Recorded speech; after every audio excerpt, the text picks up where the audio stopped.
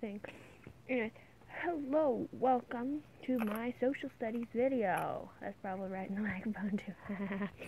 Anyways, so uh, I decided to do this on Laura Secord because a couple of people had asked why is she a nationalistic figure when I was talking to them online. And well, I'm doing I'm winging this at this point mostly.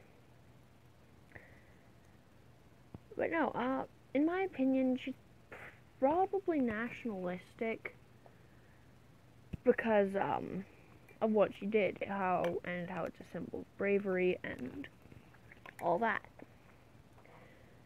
So when she walked all those ways that that the uh, 30 20 miles 32 kilometers that she did they found it brave because she probably could have been killed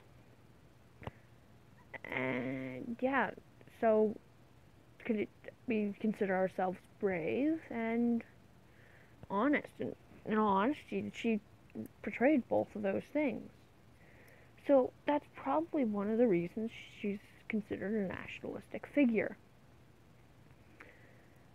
Another one is because she tried to defend her country and her family. Sometimes, well, some some Canadians are a bit kind of protective. Ignore the uh, tape on my cheek that's holding my microphone up. Um, and then I'm gonna do a quick brief history because a one minute video isn't that great.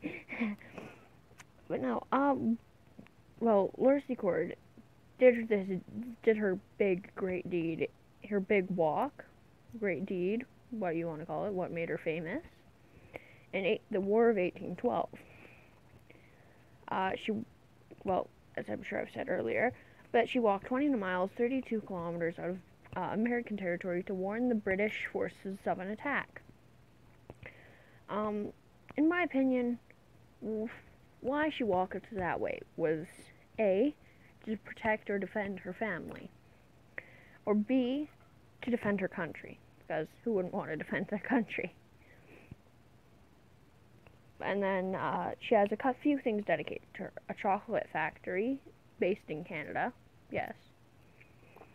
A stamp, two different stamps from what I've gotten, two schools. I know she has a coin.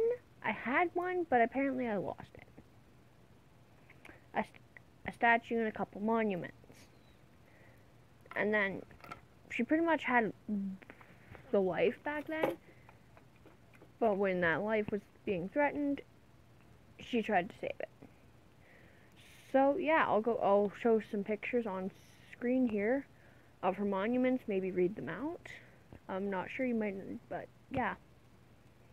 So yeah, I'm gonna do the monument thing here collage of monuments and things dedicated to Laura Secord.